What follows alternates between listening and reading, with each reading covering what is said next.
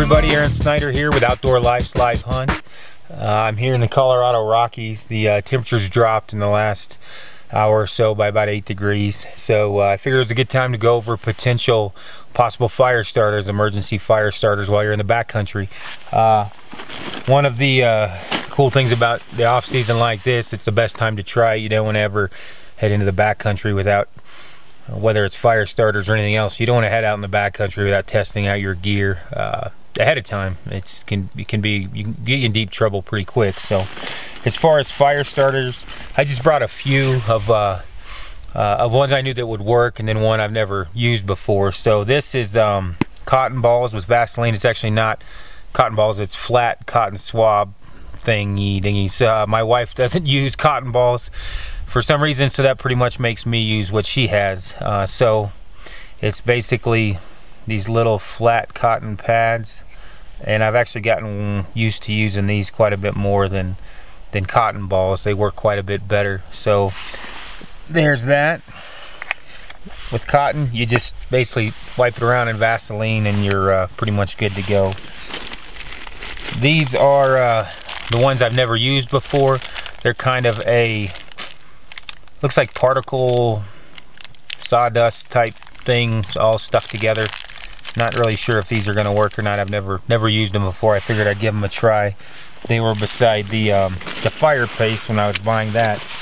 This is fire paste. Uh, I've used it before screwing around never taking it into the back country I know it does work. Probably wouldn't want to bring a tube this size. You could start a small city on fire with this. So uh, anyway you can take a smaller container squish it in a smaller container and uh, cut your weight down a little bit but fire paste. Uh, and then these are fire sticks basically. It's strike a fires looks like what it's actually called. Uh, this is what my buddy Jay uses. Uh, they're just sticks with a little match type thing on the end. You can actually break them in half uh, what he does are in quarters. So I'll break this one a little bit. And so we've got cotton the little particle ball dust thingy thing and uh, fire paste alright so fire paste. A little dirt mixed in.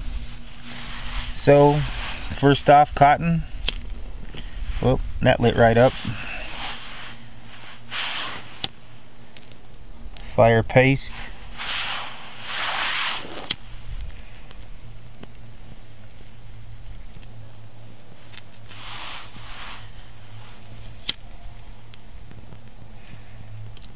you can see why cotton and Vaseline are uh, tried and true and what pretty much everyone uses. Doesn't cost very much money. It's usually at your house. Now for the little ball thing.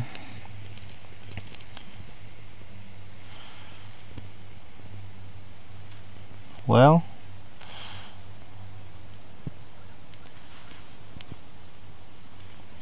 uh Okay, well, lesson learned here. Uh, I'm sure I can put a lot more effort into starting it, but considering you saw how the other one started, uh, won't be using this. Good thing I tried it out ahead of time. I'll stick it in there with the cotton. But as you can see, those three all lit up with relative ease. Uh, if I wouldn't have tried that and I took that into the wilderness, uh, the little ball obviously would have been pretty problematic. Could have been a, a big issue, especially when it's snowing like it is now.